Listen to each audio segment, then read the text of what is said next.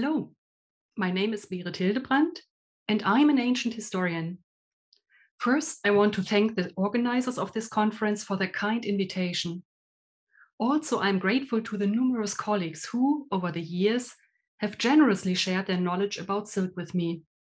I also want to thank Professor Andreas Schmidt-Colinet for kindly granting me permission to use his photographs. Full bibliographical references for the translations of ancient texts are listed at the end of this presentation. If no reference is given, the translation is mine. Today, I will speak about the terminology of silks and texts of the Roman Empire, qualities, origins, products, and uses. Towards the end of the first century BCE, Greek and Latin texts increasingly referred to a new textile material that quickly gained popularity among Roman women and men, and even some of the emperors who did not care about traditional Roman clothing that was usually made of wool or linen, silk. Moralizing authors complained that silk clothing inappropriately revealed the bodies of their wearers, especially married women.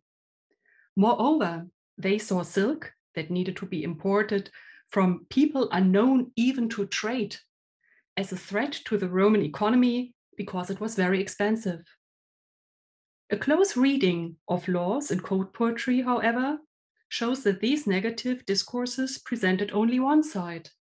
Almost from the beginning of the imperial period, silk served as an important means of self representation for the highly competitive Roman elites, including Roman men. While in the early years of the Roman imperial period, only bad emperors were purportedly interested in silk, the emperors of late antiquity increasingly tried to monopolize the silk trade and manufacture, as well as the use of the most precious silks. The purple dyed silken mantle even became the symbol of imperial rule.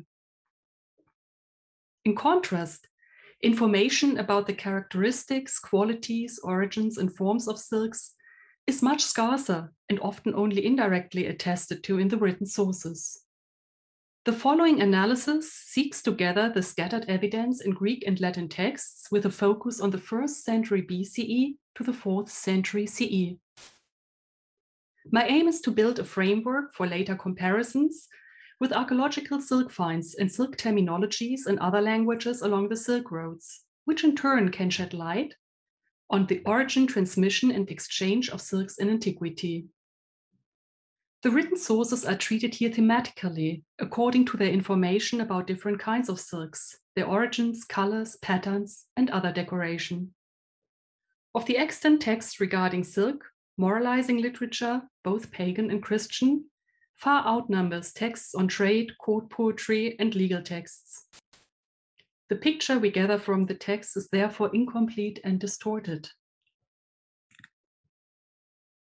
In order to get an idea about the differences between texts and archaeological textiles, the excellently preserved and thoroughly published silk finds of the Syrian oasis city Palmyra, Tadmor, will be used for a comparative case study. Unfortunately, it is beyond the scope of this paper to provide an overview over the extant silk finds in the Mediterranean and the former Roman provinces, a catalogue of which is still a desideratum they will be the focus of a separate study. Palmyra yielded over 2,000 textile fragments, which belonged to over 500 different fabrics. Around 100 of them were made of silk.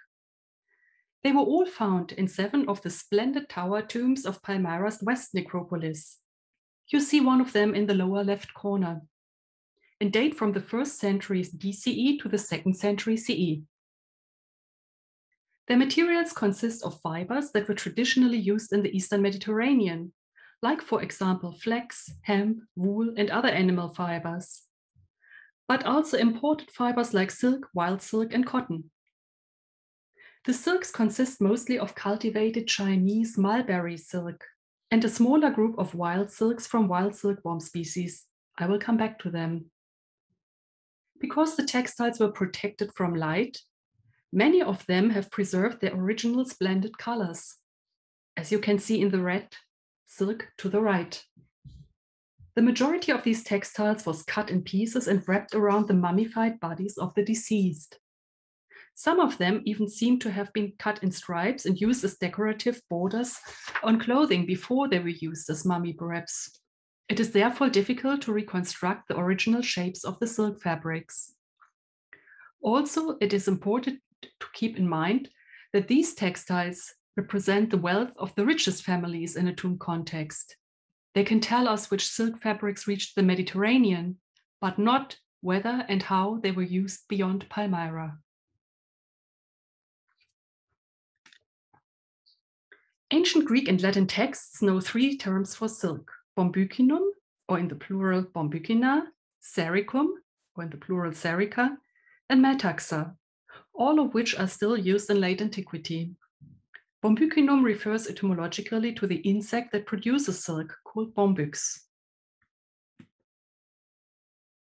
The earliest evidence for the use of bombycina is usually assumed to be a passage in Aristotle's Historia Animalium from the 4th century BCE that describes the life cycle of a silkworm and attributes the invention of silk production to a woman on the Greek island of Kos.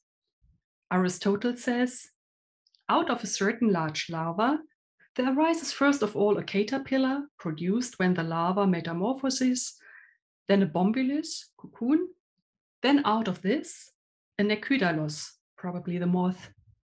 It goes through all these transformations in six months. Some of the women actually unwind the cocoons from these creatures by reeling the thread off and then weave a fabric from it. The first to do this weaving is said to have been a woman of Kos named Pamphile, daughter of Plates.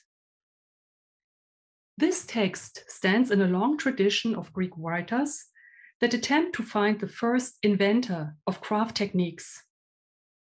The problem with this passage is that it has no securely dated parallels until an inscription from a sanctuary in Miletus in modern day Turkey that mentions head and face coverings made of Bombycina silk. This inscription is dated to the end of the second or the beginning of the first century BCE. It is thus safe to assume that this kind of silk reached the Mediterranean at least during the Hellenistic period. The term was more frequently used from the last third of the first century BCE on and might have originally referred to wild silks, since it is always attributed to insects. Usually, when we think of silk, we think of the white, shiny, even threads produced by the cultivated Chinese silkworm that feeds on wild mulberry leaves called Bombyx mori. But there are numerous other silk moth species all over the world that can produce silk. These species are usually not cultivated and live in the wild. Their products are called wild silk or tussar. Wild silk threads are uneven in comparison with cultivated mulberry silk, and the fabrics made of them usually come in different natural beige or brownish shades and are coarser and less shiny. Because the moth is not killed before it hatches from the cocoon, as is the case with cultivated silk, it breaks through the long silk threads that are wound around the cocoon. Therefore, wild silk needs to be spun and was often used for simpler, monochrome, or undyed silk fabrics.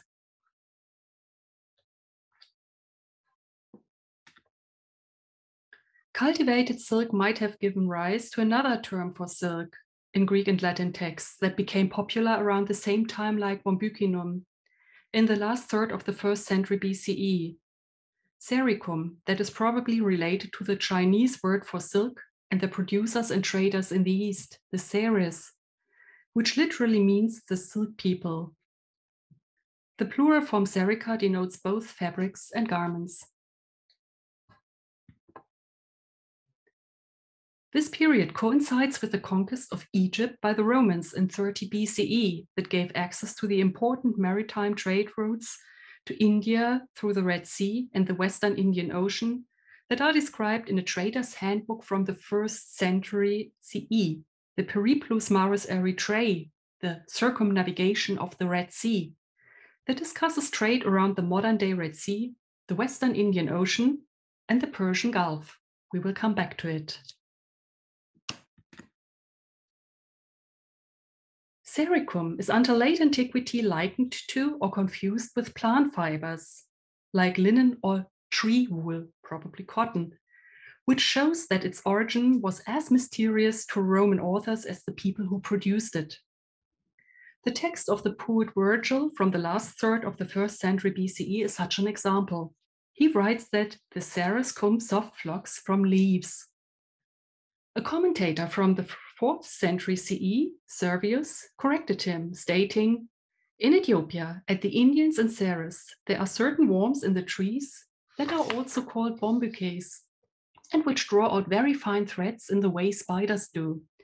This is where silk, sericum, comes from, because we cannot assume that it is tree wool, cotton, which is produced everywhere.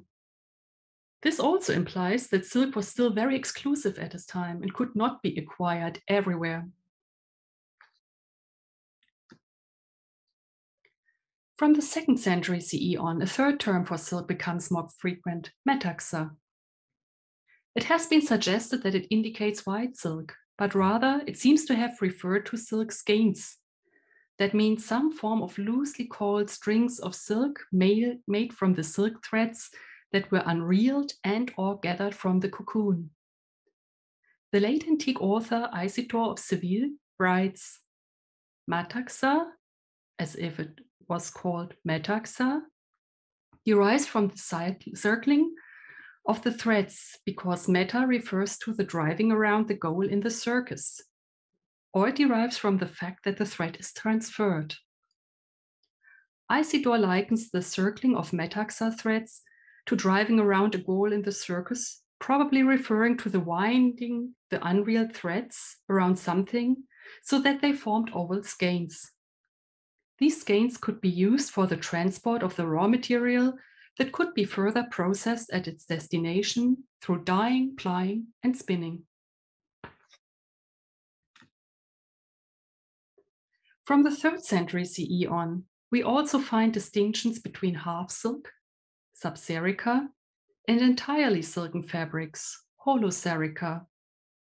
While Holosericum seems to have originated in the Greek East, possibly coined by traders at the western ends of the Silk Roads, the etymology of Subsericum points to a Latin origin, which might be related to the luxury discourses around silken textiles, for which half silken garments were regarded as a compromise.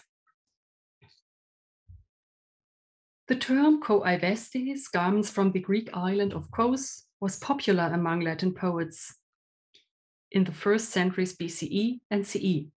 However, they do not specify the material. The term is often related to Pamphile of Kos, who purportedly invented silk weaving. We find the story in the text attributed to Aristotle that we have already seen. But since the term is unclear and not used in legislation or texts on trade, it will not be included in this discussion.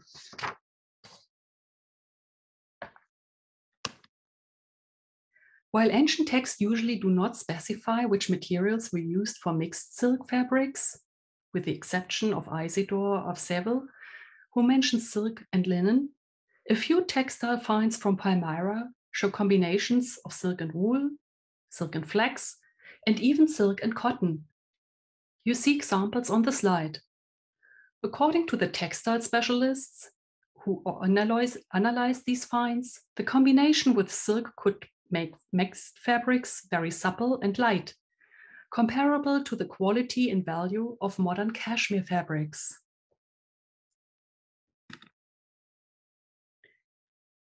Ancient texts claim that both Metaxa and Serica were produced by the Seres, who are often translated as Chinese, but rather refer to any people dealing with silk. The Periplus Maris Erythraei mentions an unknown country to the north of India, Thina, that probably denotes the Han Chinese Empire, from where Serica were traded to India by land and river, and then further to the west.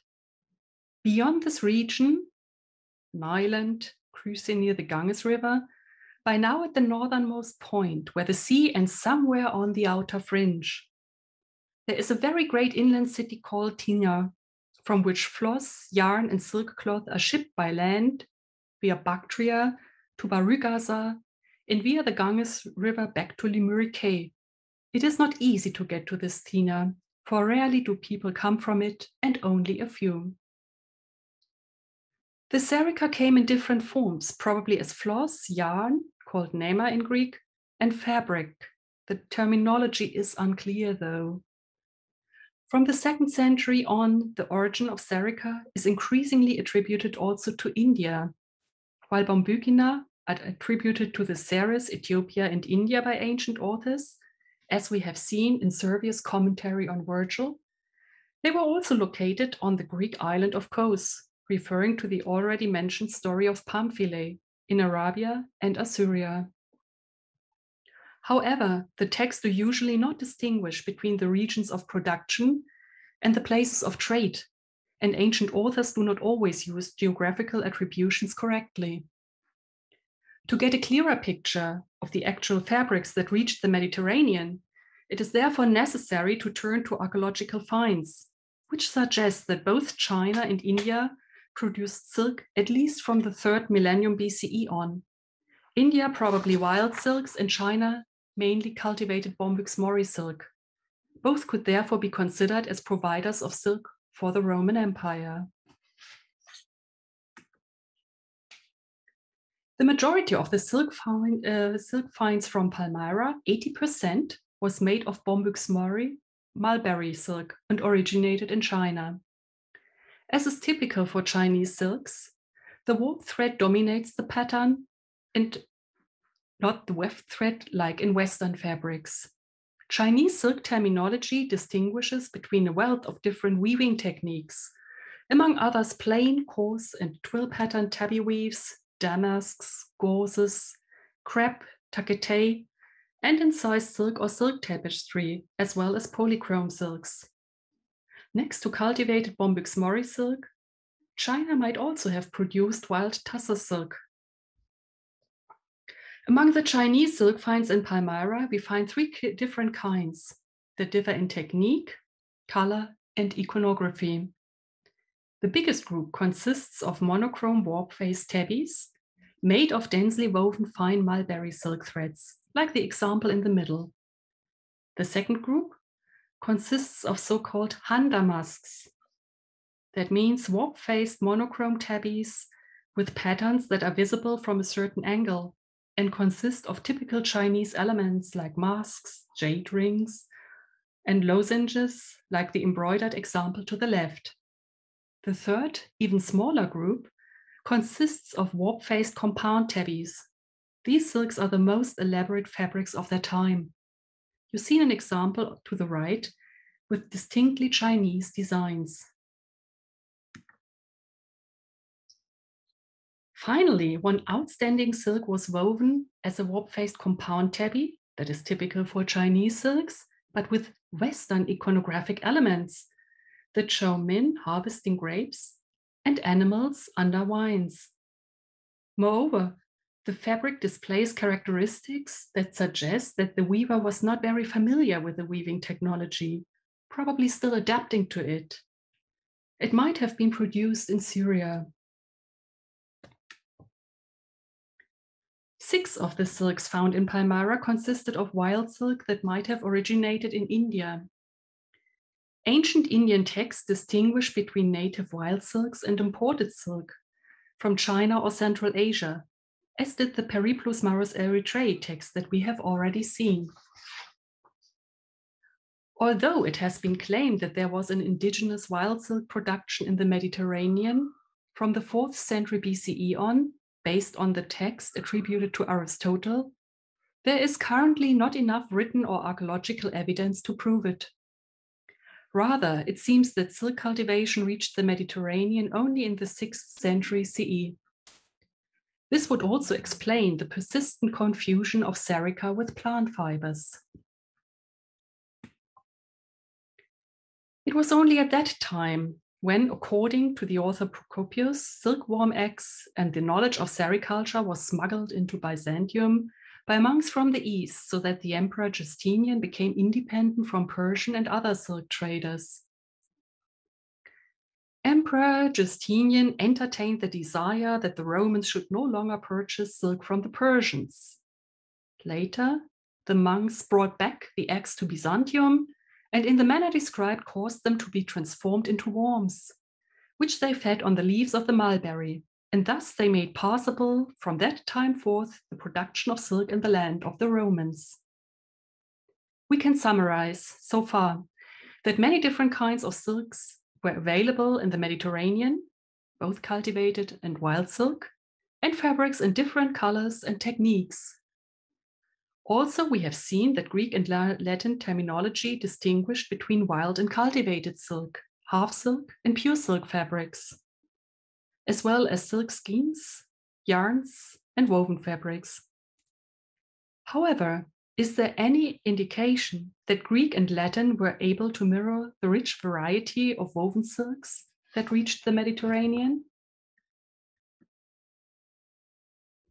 The only explicit reference to different kinds of silk qualities is found in a poem of the first century poet Martial, who lists precious gifts for a girlfriend, among others, first quality silk, in Latin prima serica.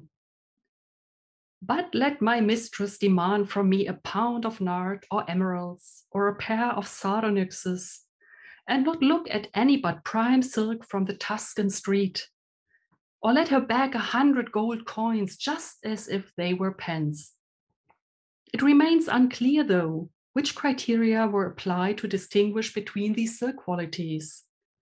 The color, fineness, and evenness of the thread might have played a role and could be connected to the differences between wild and cultivated silk fibers, the former usually resulting in coarser and less shiny fabrics than the latter. However, Martial does not use the already mentioned terms bombycina and serica that seem to have denoted the differences between wild and cultivated silk. That these terms were seen as different is corroborated by authors like Apuleius and Clement of Alexandria, who wrote in the second century CE, and who used bombycina and serica in parallel. Also, legal texts distinguished between garments of wool and linen and those made of serica and Bombycina, although without explaining the difference between the two. Taking this into consideration, we have to consider that Martial thought about different qualities of serica. He could have referred to different silk qualities gathered from one and the same cocoon, like the short threads from the outside and inside of a cocoon, as opposed to the high quality, long and even thread that can be unreeled from its middle part. Yet another possibility is that plant fibers like cotton were subsumized under serica and regarded as lesser quality silk.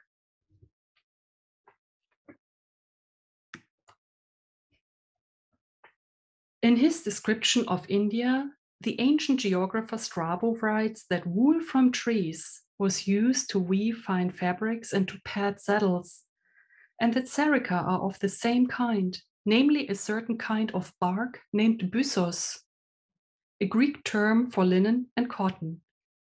For the same reason, the Indian heat, even wool blossoms on some trees, from this wool, Nearchus says, finely threaded cloths are woven, and the Macedonians use them for pillows and as padding for their saddles. The serica are also of this kind, byssos, being dried out of certain barks. While it is not possible to determine what ancient authors meant when they spoke about different silk qualities, we are on safer ground with regard to their descriptions of silk fabrics.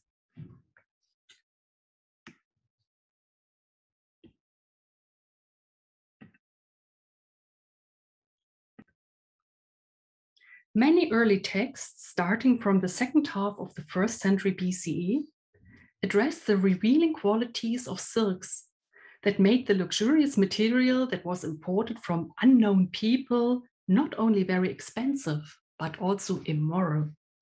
A prime example is a text by the philosopher Seneca, in which he lets the philosopher Demetrius criticize the Roman matron's predilection for serica garments I see their raiments of silk, if that can be called raiment, which provides nothing that could possibly afford protection for the body, or indeed modesty, so that when a woman wears it, she can scarcely, with a clear conscience, swear that she is not naked. These are imported at vast expense from nations unknown even to trade, in order that our married women may not be able to show more of their persons, even to their paramours, in a bedroom than they do on the street.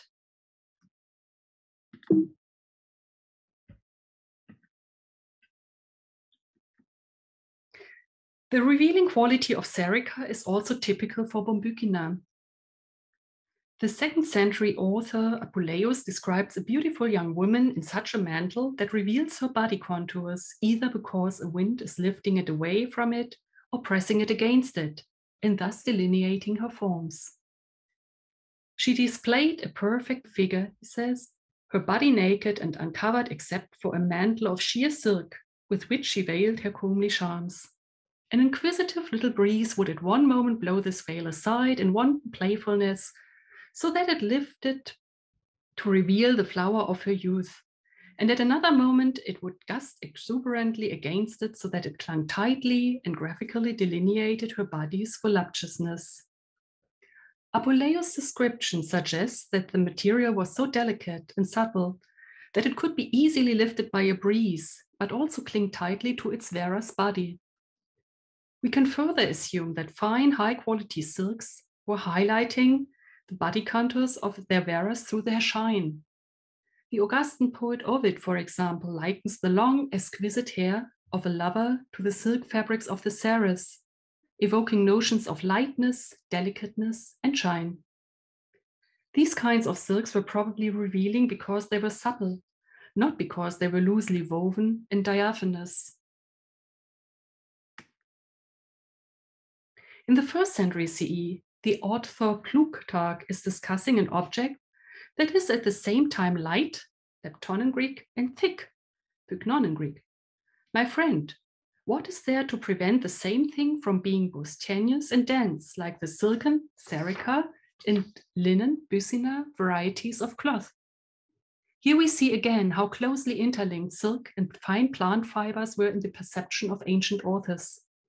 It is possible that these silks consisted of densely woven tabby fabrics made of delicate and shiny Bombyx mori silk, maybe similar to those found in Palmyra. Another possibility is that the revealing silk dresses consisted of loosely woven gauze-like fabrics that allowed views of the body underneath.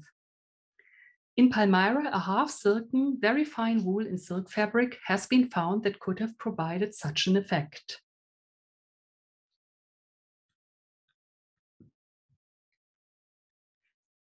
The poet Lucan might have had these gauze-like fabrics in mind when he lets the Egyptian queen Cleopatra seduce Caesar in a purple-dyed silk garment that let her white breasts shimmer through.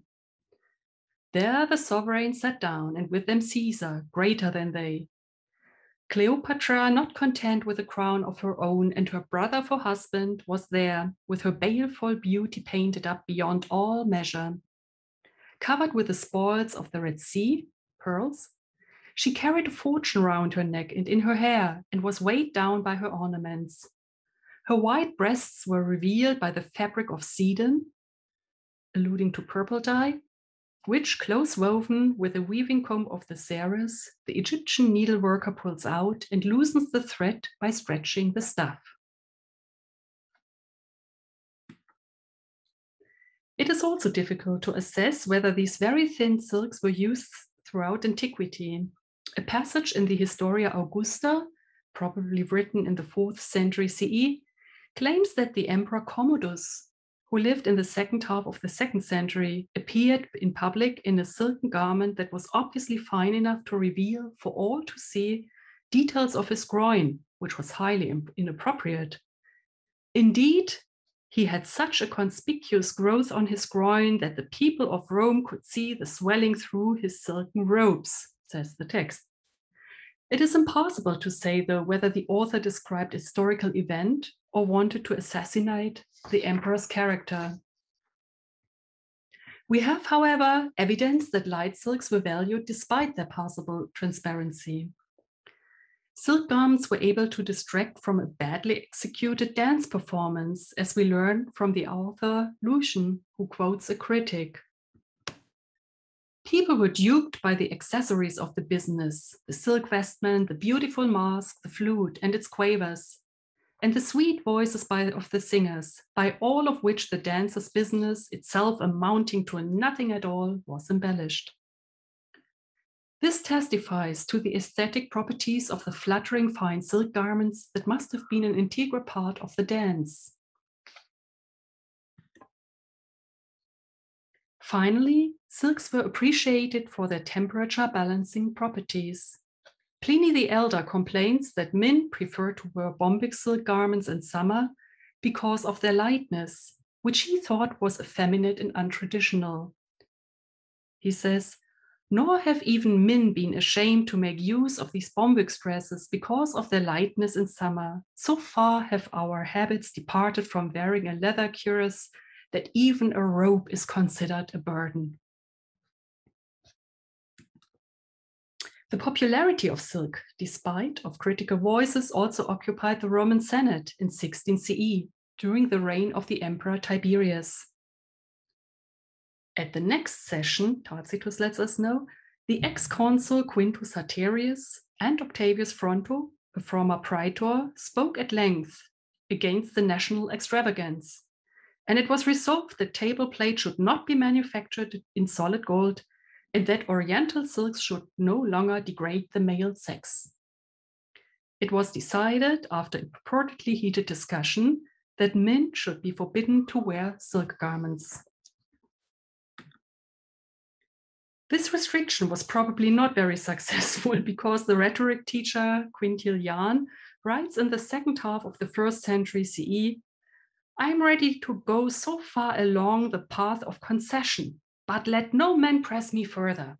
I concur in the fashion of the day to the extent of agreeing that the toga should not be of coarse wool, but not to the extent of insisting that it should be of silk. We can only guess how many Roman citizens infuriating, infuriated the moralists by wearing the traditional garment of a Roman citizen, the toga, not in the traditional version made of wool, but of silk. Quintilian is an exception among the earlier authors that write about silk clothes, in that he mentions the passable shape of the silk garment. Usually, early texts only speak of serica or bombycina, which could refer to silk fabrics or garments of different qualities and shapes. In late antiquity, texts become more specific, both with regards to the kinds of silks used and the garments made of them. In the Emperor Diocletian's edict on maximum prices, dated to the year 301 CE, we find several references to silk garments, the maximum price of which varies according to whether they were made of half silk, subserica, or entirely of silk, holoserica. The salary for a silk weaver for half silk fabrics plus keep was 25 denarii maximum. The salary for a silk weaver for pure silk fabrics plus keep, also 25 denarii maximum. The salary for a silk weaver for pure silk damasks, however, plus keep, was 40 denarii. Here we learn about weaving techniques. Those who received a lower wage were probably producing tabby weaves. Those who received a higher wage, scutlata silks. These silks have been identified as damasks with a geometric pattern by John Peter Wild.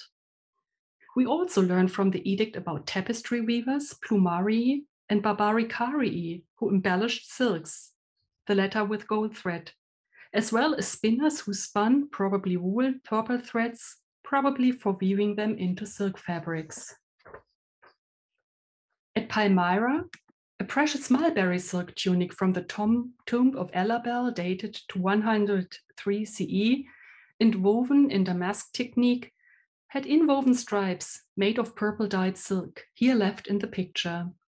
It was probably woven in Syria with imported Bombyx mori silk yarns. The other example is a green damask that was probably woven earlier than the tunic because it shows numerous weaving mistakes, here to the right on the slide. Among the kinds of silk clothes that are mentioned in Diocletian's edict on maximum prices are also a tunic with sleeves and hypoblatta purple stripes, made of half silk fabric, dalmatica, a long garment with sleeves, a strictoria, in half silk or pure silk quality, and a hooded garment with sleeves, a dalm- dalmaticum fortium, made either of half silk or pure silk with different qualities of purple stripes. These silk fabrics have probably been of a more solid quality than the highly revealing silks of the early imperial period. This assumption is corroborated by passages in the Historia Augusta, where silk garments are given to subordinates by the emperors. An example is the later Emperor Claudius Gothicus, who received, among many other garments, a half silk white garment with purple dye from the Emperor Valerian. Also, Valerian's son Gallienus tried to win Claudius over by sending him numerous gifts that included a white half silk dress. Since it would not make sense to assume that the emperors dealt out clothes that disgraced their wearers, we can rule out diaphanous fabrics. These subserica were probably less revealing because they combined the silk thread with cotton, flax, linen, or wool, as mentioned above. Also, it can be assumed that they were perceived as less luxurious because they combined traditional textile materials with silk. However, given the highly politically charged discourses around the use of silk during antiquity and the excellent qualities of very fine wool and linen yarns available, choosing silk over those materials was always a conscious status statement. The value of the already costly silk could be heightened through precious dye stuffs. Most frequently, the texts mention purple dyed silk. Purple was obtained from snails and often used for royal garments. You may remember that Cleopatra's silk dress was purple dyed.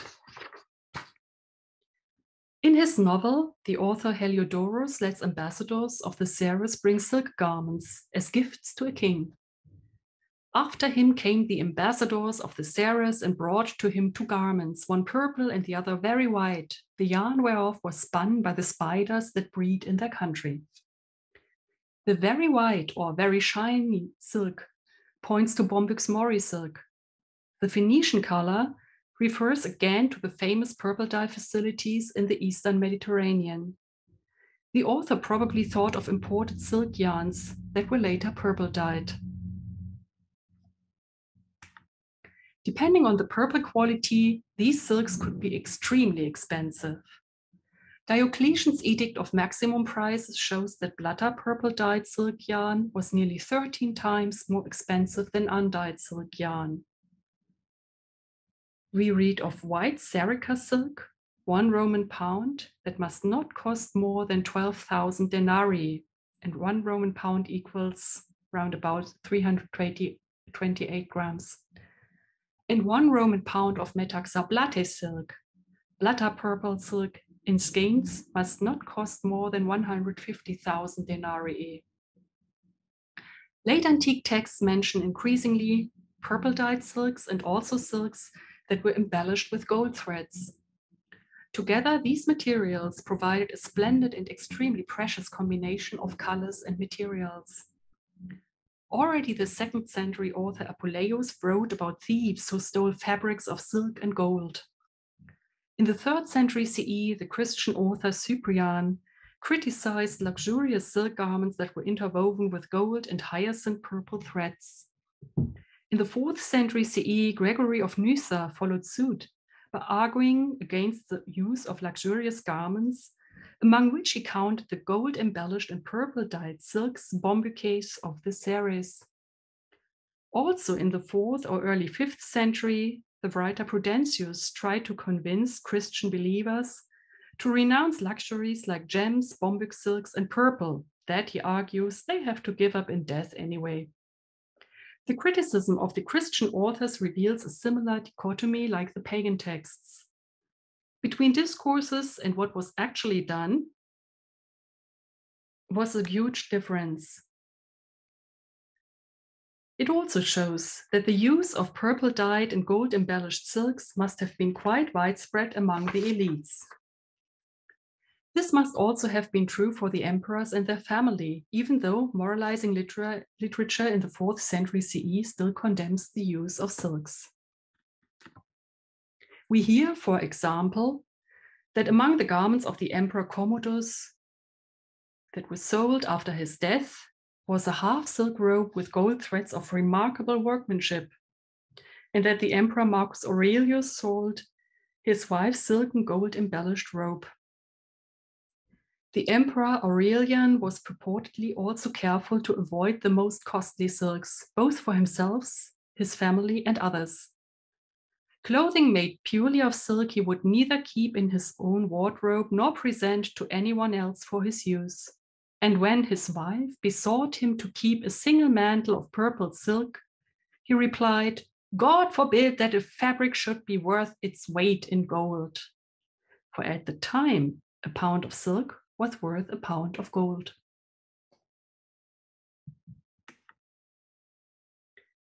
In the year 398 CE, the court poet Claudian praised the child Emperor Honorius' purple dyed silken robe that he wore on the occasion of his fourth consulate and that was embellished with gold threads and precious stones from India, a so-called trabea. The Phoenicians contributed the color, that would be purple, the Saras, the warp threads, silk, and Hydaspes in India, the weight. Here we have to add of the precious stones that embellished the silk garment. The silk fabric must have been heavy enough to bear the weight of the stones. Not only do the silk qualities seem to change, or at least become available in many different qualities, also the way in which they were judged changed. If we leave the critical moralizing authors behind and look at the legislation, we can see that the emperors in the fourth century increasingly tried to monopolize the trade and production of silk and also the use of purple silks.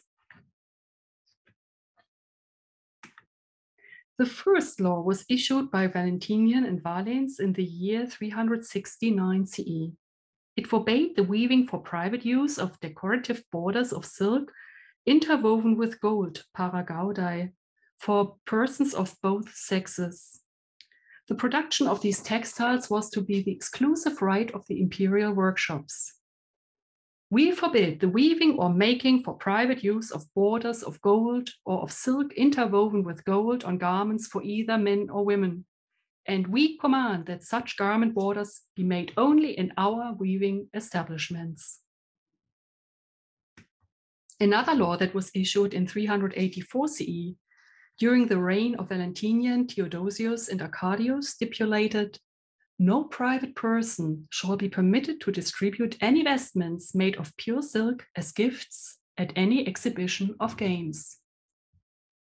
It seems that half silk clothes did not violate the monopoly of the emperors, since we know of a letter dated to, to 393 CE from the former consul Symmachus to the Vicarius Africae Magnillus in which Symmachus talks about half silk dresses, we do not learn which shape they came, that he wished to procure for distribution at the games that marked the beginning of his son's new office as quaestor. Yet another law that was issued during the reign of Valentinian, Theodosius, and Arcadius between 384 and 392 CE forbade every private citizen to dye wool and silk with precious purple, no private person shall be able to have the right to dye and sell the purple cloth, either in silk or in wool, which is called purple, blatta, or bright purple, oxyblatta, and hyacinth. Also, the sale of purple dyed silks was not allowed, and anyone disrespecting the law had to expect the loss of all their assets and even capital punishment. It seems, though, that textile workers and dyers invented strategies to circumvent previous laws and to achieve the precious purple color with other dye stuffs, because another law that was promulgated between 393 and 395 CE by Theodosius, Arcadius, and Honorius forbade independent dyers to imitate imperial purple on wool and silk. Again, violations were punishable by death. We do not allow the dyeing of woolen cloth darkened with counterfeit to look like sacred purple dye, nor silk to be dyed pink and afterward to be darkened with another color, since the right of dyeing in all colors from white is not denied. For those who attempt what is not allowed will receive capital punishment. Moreover, between 384 and 392 CE, Valentinian, Theodosius, and Arcadius stipulated that only the comes commerciorum, the official who oversaw the trade at the frontiers of the empire, was allowed to buy silk from the barbarians, which forbade to trade silk for everyone else. As has already been ordered, we order also now that the privilege of purchasing silk from the barbarians be taken away from everyone, except for account of external trade. While these laws primarily sought to monopolize the production and trade of certain kinds of silks, the emperors also increasingly tried to monopolize their use. A law from the year 393 CE, issued under Theodosius, Arcadius, and Honorius, targeted the apparel of a certain kind of actresses, the mimae. No actresses of mimes shall wear gems, nor shall wear, none shall wear silk with adornment in relief or gilded textiles. Of course, we do not, not forbid them to wear checkered and varicolored silks and gold without gems on their necks, arms, and girdles. They were not allowed to wear jewels, silken garments interwoven or embellished with gold, or silks embroidered or embellished in a certain way that probably created a relief effect. If we compare these silks with Honorius' elaborate robe, it seems that the law was issued in order to reserve purple dyed silks that were embellished with gems and gold, exclusively for the use of the emperors. However, the actresses were obviously allowed to use scutlata damask silks, the weaving structure of which gave the already known checkered effect, and silk garments dyed in various colors. A multicolored silk chaplet is already mentioned by the elder Pliny.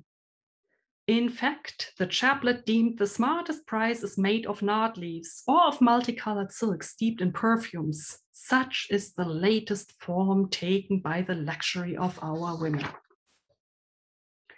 Also, the second century author Dionysius Periegetes compared the skillfully made garments of the Seres with flowers on a meadow.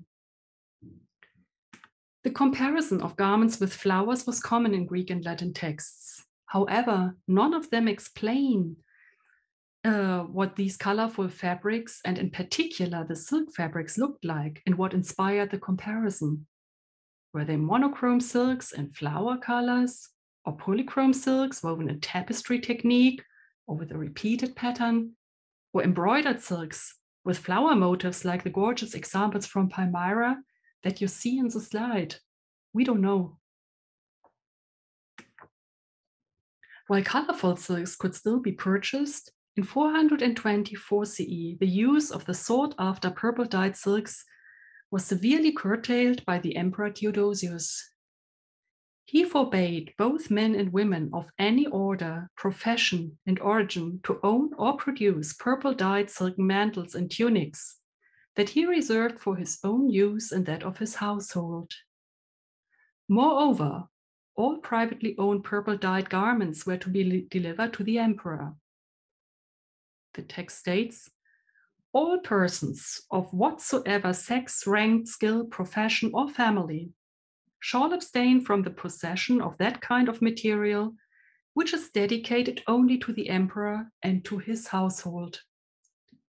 Nor shall any person at his home weave or make silk cloaks or tunics which have been colored with purple dye and woven with no admixture of anything else. Garments of all purple must be surrendered to the treasury and must be immediately offered. How difficult it was to enforce these monopolies, however, is shown by another text, only 12 years later, in 436 CE, a law issued under Theodosius and Valentinian describes a case of treason in which nearly 300 Roman pounds of silk had been purple dyed in clandestine operations and witnesses had been tortured to confess. Although it seems to have been difficult to enforce the imperial silk monopolies, the laws give the impression that all violations were rigorously pursued. The initially, initially highly criticized exotic material that moralizing authors liked to attribute to Roman women with loose morals had become part of the imperial representation. To summarize, it could be shown that while Greek and Latin silk terminology distinguishes between wild and cultivated silk, the forms in which the raw material reached the West, skein, yarn, and fabric, and different weaving techniques, colors, and embellishments, it does not match the variety of archaeological silks known in the Mediterranean. The focus of ancient authors, when they distinguish between different silk qualities, lies firmly on fabrics that were produced in the West, namely entirely silken and half silken fabrics, scutlata damasks with a checkered pattern, purple dyed silks, and silks that were embellished with gold and or precious stones. The legislation mirrors the growing interests of the emperors in the trade, production, and use of mainly purple dyed silks and differentiates accordingly. Silks from the East were usually subsumized under the term for silks from the silk people or simply silks. Some of them, especially the splendid colorful Chinese pattern silks, might also hide behind the comparison with flowers, but we cannot be sure. These findings show the limitations of Western silk terminology and the importance of combining archaeological and written sources. Thank you very much for listening. And please find the editions of ancient authors and the acknowledgements for permissions at the end of this presentation.